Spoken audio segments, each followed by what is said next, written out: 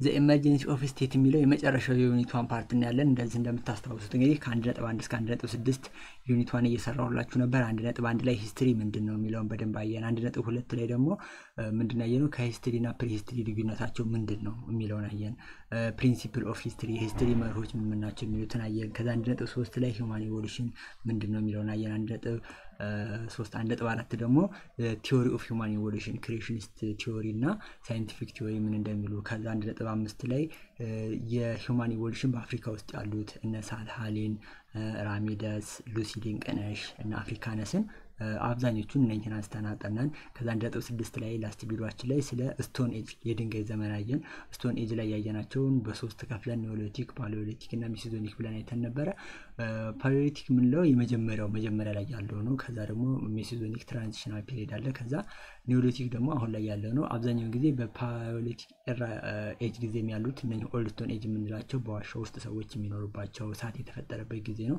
አሁን ከዛ ቀስ እያለ በ transition ኡ ላይ ሲመጣ Neolithic age ላይ ሲደርስ ምንድነው የተፈጠረው? agriculture የተፈጠረበት ሰዎች በህብረት ዋሻ ውስጥ ከመኖር የድንጋይ ቤቶችን እየሰሩ ማህበረሰብ እንደ community መኖር የጀመሩበት ሰዓት ነው እና ከዛ እንግዲህ ህዝቦች እንደ community ከዋሻ ውስጥ ወጥተው አብረው እየተሰበሰቡ ሲኖሩ ሲኖሩ አንድ ጋር ሲሆኑ እየበዙ ሲሄዱ የራሳቸውን administration አገዛዝ እየፈጠሩ በመጡ ሰዓት ምን ይፈጥራሉ? ቀስ ቀስ ቀስ እያሉ state ወይም ደግሞ ሀገር ይፈጥራሉ ማለት ነው። ስለዚህ emergence of state የሚለውን አንድ ነጥብ ሰባት ላይ በዛሬ ቪዲዮአችን ላይ እናያለን ማለት ነው። ከዛ በኋላ የ unit one tutorial ያልቃል ማለት ነው። unit one ን ከጨረስን በኋላ በሚቀጥለው ቪዲዮ ላይ ይዤላችሁ የምመጣው ነገር ምንድን ነው እዚህ ጋር የምትመለከቷቸው የ review ጥያቄዎችን እሰራላችኋለሁ ማለት ነው።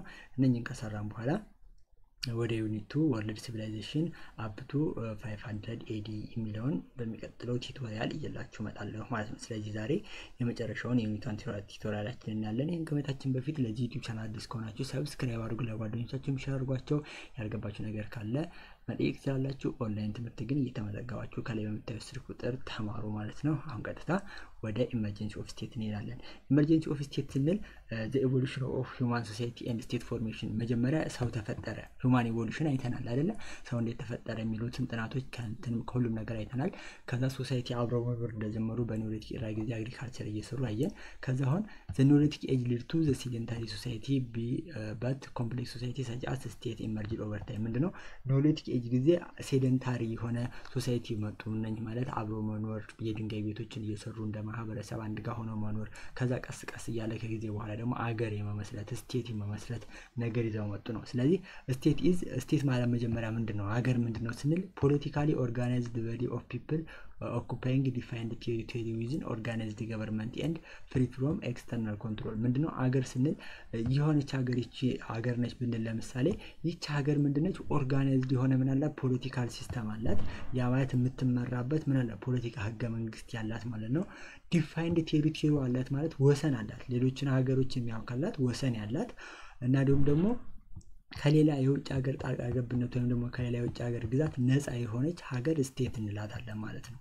state ማለት ሉዓላዊ የሆነች በውጭ ጣልቃ ማትገባ የራሷ የሆነ territory ወይም ድንበር ያላት ሀገር state ትባላለች። ስለዚህ state different from kingdom and empire in terms of population፣ territory፣ government፣ sovereignty and recognition ከ kingdom ይሄ የአክሱም kingdom የዛጉዌ kingdom ምናምን ከምንለው ይለያል። ምክንያቱም እነሱ demarcated የሆነ boundary የላቸውም፣ ወሰን የላቸውም ማለት ነው።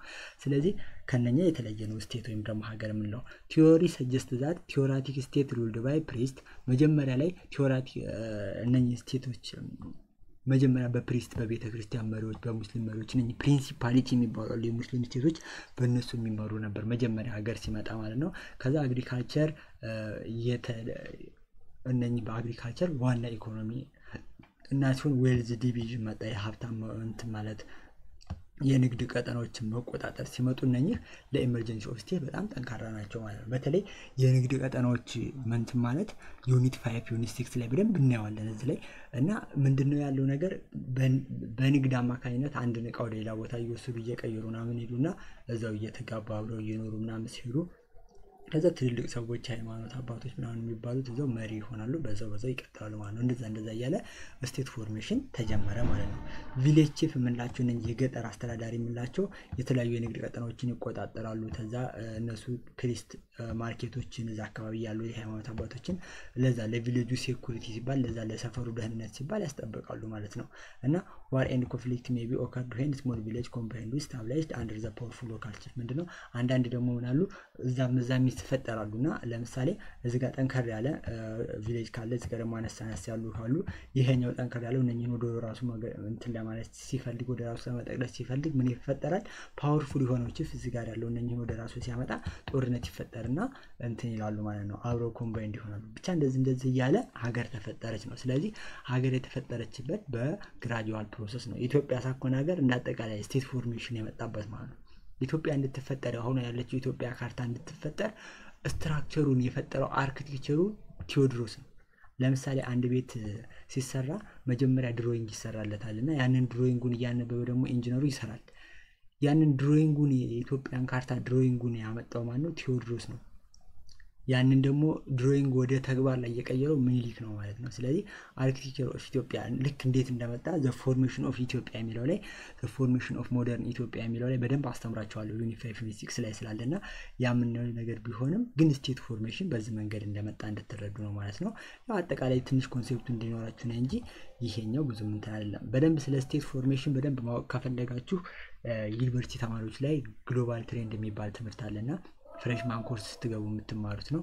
እዛ ላይ የሰራሁት ቪዲዮ ስላለ link ኡን description box ላይ ያስቀምጥላችኋለሁ። ገብታችሁ ቪዲዮ ማየት ትችላላችሁ። ግን ለእናንተ አስፈላጊ አይደለም። ብቻ እናንተ እዚህ ጋር state ማለት ምን ማለት እንደሆነ እንዴት እንዴት እንደመጣ መጀመሪያ state ሲመጣ መሪዎቹ priest እነ ቤተክርስቲያን ውስጥ ያሉ ቄሶች ምናምን የሰፈር ላይ ያሉ chief ኦች ምናምን እንደነበሩ እሱን ካወቃችሁ this enough for you ማለት ነው። እና መጽሐፋችሁ ላይ ያለውን በተጨማሪ ማንበብ ነው። unit one ይህን ይመስላል። እንግዲህ በ tutorial የምንገናኘው unit ኡ ላይ ነው። ግን በሚቀጥለው ቪዲዮ ላይ unit review ጥያቄዎችን እዚጋ የምትመለከቷቸውን ጥያቄዎች እያላችሁ እመጣለሁ። እስከዛው መልካም ጊዜ ሆኑላችሁ። subscribe አድርጉ፣ like አድርጉ፣ ለጓደኞቻችሁ share አድርጓቸው። ያልገባቸው ነገር ካለ comment ላይ መጠየቅ ትችላላችሁ። እንዲሁም ደግሞ በዚህ ስልክ ቁጥር እየደወላችሁ ኦንላይን መመዝገብና መማር ትችላላችሁ ማለት ነው። መልካም ጊዜ